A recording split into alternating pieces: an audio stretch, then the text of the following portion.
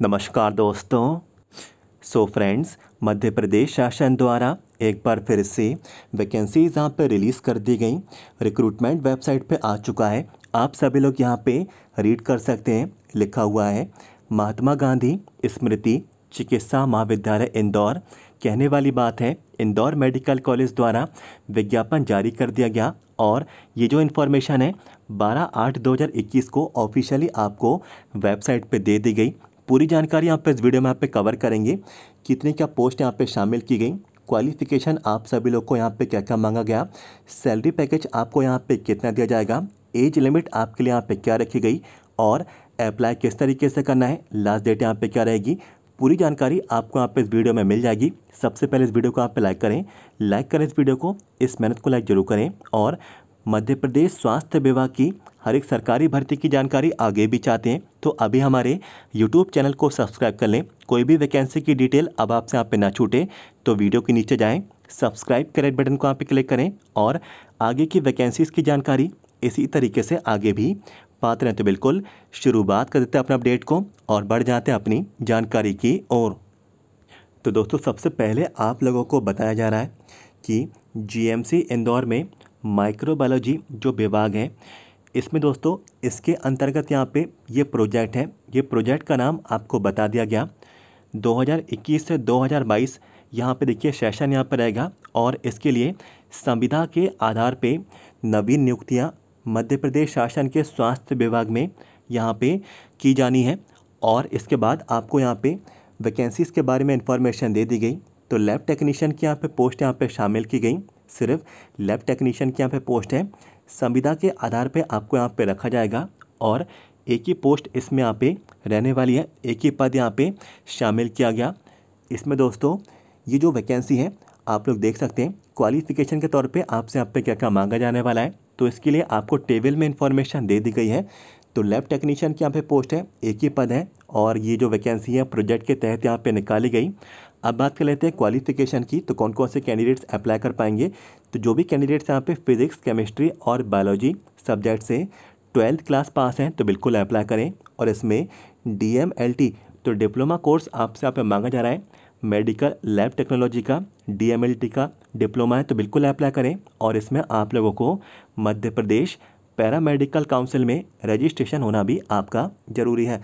Age limit भी आप लोग यहाँ पे देख लें 28 साल उम्र आपके यहाँ पे रखी गई। इतने एज तक के सभी कैंडिडेट्स यहाँ पे अप्लाई कर सकते हैं। सैलरी पैकेज भी देख सकते हैं। पंद्रह हज़ार रुपये पर मंथ बेसिस पे आपको यहाँ पे सैलरी पैकेज वेतन आपको यहाँ पे दिया जाएगा। अब बात कर लेते हैं, कैसे अप्लाई करना है लास्ट डेट यहाँ पे क्या रहेगी? तो अप्लाई करने के लिए फिफ्थ नंबर का पॉइंट बता दिया गया है। आवेदक सादे पेपर में अपना आवेदन पत्र के साथ अपनी आवश्यक शैक्षणिक योग्यता प्रमाण पत्र एवं अन्य आवश्यक मूल प्रमाण पत्रों की स्व प्रमाणित के साथ विज्ञापन प्रकाशित होने के सात दिवस, अवकाश होने की आगामी दिवस में प्रभारी, माइक्रोबायोलॉजी विभाग, महात्मा गांधी स्मृति चिकित्सा महाविद्यालय, दस बजे से दोपहर के तीन बजे तक जमा करें। तो बिल्कुल आप सभी लोग यहाँ पे समझ चुके होंगे। सादा जो कागज़ है आप लोगों को इस पर आवेदन पत्र के साथ आपके जितने भी सर्टिफिकेट्स हैं क्वालिफिकेशन है और जितने भी आपके यहाँ पे डॉक्यूमेंट्स हैं स्व प्रमाणित करके सेल्फ अटेस्ट करके फ़ोटोकॉपी का सेट आपको यहाँ पे प्रोवाइड कराना है। सात दिनों के भीतर आपको ये सारी जानकारी प्रोवाइड करा देनी है और अवकाश यहाँ पे रहता है तो अवकाश को छोड़कर जितने भी यहाँ पे दिन हैं, आप लोगों को इनमें अपनी कार्रवाई करनी होगी।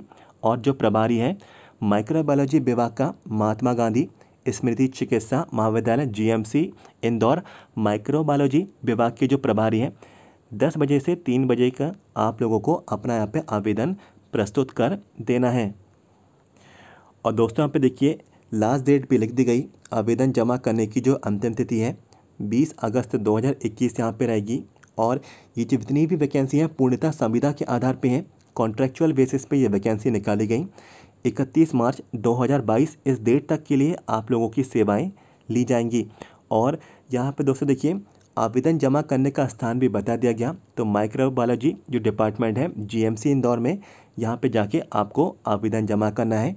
और सिलेक्शन भी बता दिया गया कि अंतिम जो चयन है, शैक्षणिक योग्यता तो जो भी आपके यहाँ पे क्वालिफिकेशन है, आपके पास यदि यहाँ पे अनुभव है और आपकी मेरिट लिस्ट यहाँ पे बनेगी और यहाँ पे इंटरव्यू आपका यहाँ पे लिया जाएगा इंटरव्यू के बाद मेरिट लिस्ट के आधार पे आपको ज्वाइनिंग दे दी जाएगी और यहाँ पे वेटिंग में भी यहाँ पे कैंडिडेट्स को यहाँ पे रखा जाएगा तो वेटिंग लिस्ट भी यहाँ पे जारी की जाएगी और दोस्तों यहाँ पे देखिए सिक्स नंबर का पॉइंट है लिखा हुआ है सरकारी संस्था के कार्य का अनुभव होने वाले अभ्यर्थियों को प्राथमिकता दी जाएगी तो आपको यहाँ पे कार्य का अनुभव है तो आपको यहाँ पे प्रेफरेंस आपको यहाँ पे दी जाएगी प्राथमिकता आपको मिलेगी सिलेक्शन में लिखा हुआ है इंटरव्यू की दिनांक और जो भी संबंधित सूचनाएँ इंटरव्यू के लिए जितने भी कैंडिडेट्स को यहाँ पे सिलेक्ट आगे के राउंड के लिए किया जाएगा ऑफिशियल वेबसाइट पे इन्फॉर्मेशन आ जाएगी। आप लोग जो है समय समय पे ऑफिशियल वेबसाइट देखते रहें।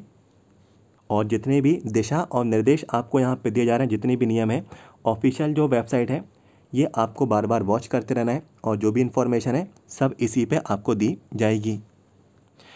तो दोस्तों, पूरी जानकारी मैंने यहाँ पे कवर की। लैब टेक्नीशियन के लिए ये रिक्रूटमेंट यहाँ पे कवर किया गया और जीएमसी इंदौर में ये वैकेंसी निकाली गई। एक ही पोस्ट है मेल और फीमेल दोनों कैंडिडेट्स अप्लाई करें। ट्वेल्थ क्लास आपको यहाँ पे पास होना ज़रूरी है फिजिक्स केमिस्ट्री और बायोलॉजी सब्जेक्ट में। और डीएमएलटी का कोर्स हो, मध्य प्रदेश। पैरामेडिकल काउंसिल में रजिस्टर्ड होना भी आप लोग यहाँ पे ज़रूरी है। लाइक कर दें इस वीडियो को। सबसे पहले इस वीडियो को यहाँ पे लाइक करें, इस मेहनत को लाइक ज़रूर करें और कोई भी वैकेंसी की जानकारी अब आपसे यहाँ पे ना छूटे। अभी हमारे यूट्यूब चैनल को सब्सक्राइब कर लें तो वीडियो के नीचे जाएँ। सब्सक्राइब करें बटन को यहाँ पर क्लिक करें और मध्य प्रदेश स्वास्थ्य विभाग की हर एक सरकारी भर्ती की जानकारी इसी तरीके से आगे भी पात्र रहते। मिलते हैं आपसे अगले वीडियो में। Thank you so much